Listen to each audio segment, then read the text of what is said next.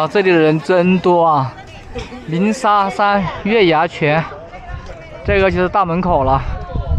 你看，这人多吧？我们往里面走吧。好凉快哦！看一下骑骆驼的人多少啊？真的像骆驼商队一样的。我的天哪，浩浩荡荡的。大家还记得吗？以前的骆驼都不愿意走路的，都罢工了啊！万万没有想到啊，来这个月牙泉不能放无人机啊，太可惜了！我现在后悔了，花了人民币一百一十块钱来爬这个沙丘啊！大家好，我是铁牛，我现在已经到了甘肃的月牙泉啊！看我身后这些骆驼啊，是不是很辛苦啊？如果我们心疼这骆驼的话呢，我建议我们都不要去骑。你骑了就有商业行为，这个骆驼自然会辛苦了啊。现在室外温度已经达到三十八度，太热了。幸好咱们的房车是有空调，这个地方也是不能带狗的，带狗狗也受不了。既然进来了，咱们去去爬爬这个山丘吧。前面就是月牙泉了，我们去月牙泉看看吧。我就是冲着这个月牙泉过来的，你看，这人往这里走了，神不神奇？就那一块地方是绿色的，四周全是沙漠，看四面全是沙，只有那块是绿的。终于到这里来了。这沙丘望不到边呐，这沙太累了。那个机器终于停下来了，不然说话都听不清楚啊。很多朋友问我这个收音效果，我现在用的是那个运动相机，不能用那个麦，所以那个杂音都收过来了。用手机的话，这里的话，因为这个气温比较高，手机就罢机了，就拍不了。相机的话容易进沙子。所以没办法，只能用运动相机拍啊！看我身后，这么热的地方，人还要这么多。今天终于能够看到月牙泉了。虽然说不能用航拍啊，拍这个月牙泉的全貌，但是也不虚此行，来看一看啊！也不知道下次什么时候有机会来这个月牙泉呢？醉卧名山。月全侧，千山万泉无颜色。这句诗写的多美啊！可惜了，可惜咱们没有力气爬上去了，我就不爬了。这里要是飞无人机多好啊！可惜了。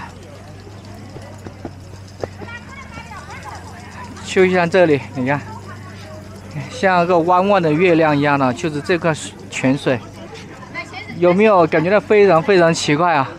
四面全部是沙，为什么这个泉水填不满呢？啊，是不是觉得很奇怪？你看这里，对吧？这里还有，你看碧青红衣，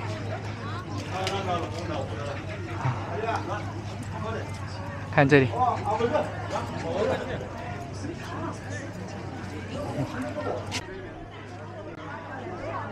看，看，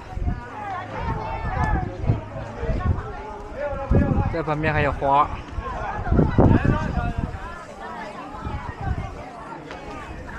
啊，看一下，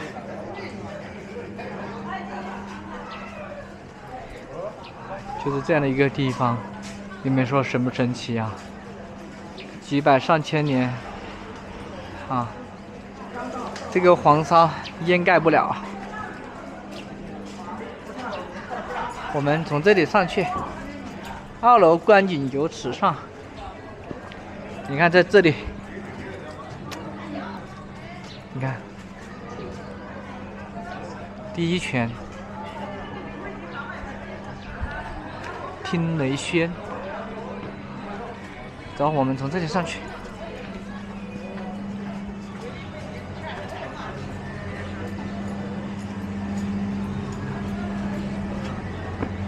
哇，你看，这沙都已经挨在这里了，都淹不了。你们说神不神奇嘛？这里有一个二楼，我们去二楼逛看一下。他们很多人都从这里爬上去，风景四季。这个，这个摸的光好光啊！嗯。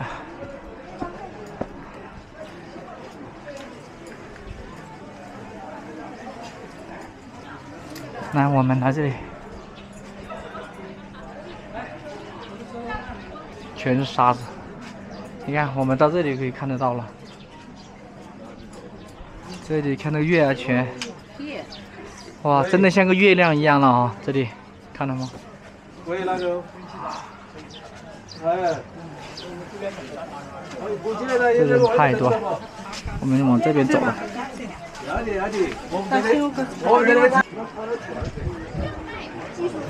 你看，在旁边还有人竟然爬到上面去了。现在终于。没有人了，游客变少了。你看，这是月牙泉在这里，是一个半月形的哈。在空中看的话，应该是很漂亮。你看，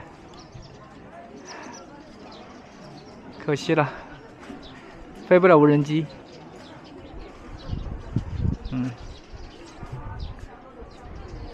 朋友们。来这里最遗憾的是飞不了无人机，为什么呢？因为这里有那个滑翔伞啊，有直升机，所以只能从这里看了。我刚刚上那个二楼上面去看，也大概就是这样子。为什么很多人都来这里呢？你们知道是什么原因吗？就是因为好奇心，知道吧？你看，在旁边全是沙漠，四周是沙漠，为什么这泉水淹不了？还有这里的这个。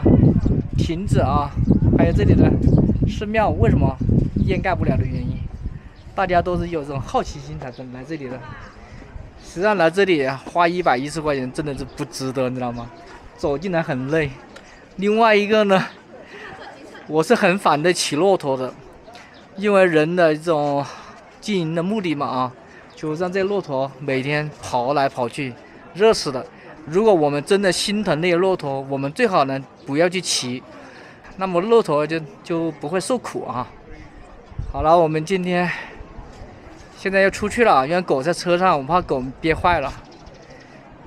看一下这骆驼的毛啊，你看都脱光了，可怜吧这骆驼。你看全部去那边了。